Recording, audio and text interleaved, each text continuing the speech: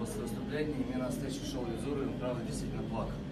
И меня так это тронуло, что он такой душевный, а, искренний, честный, молодой парень. Ну и меня, еще раз говорю, я вместе хотел с ним расплакаться. Настолько это было трогательно, но он великий спортсмен. А, Это не просто уже одна, один раз выиграть Олимпиаду, а выиграть два раза и подряд выиграть два раза Олимпийские игры. Это очень сложно.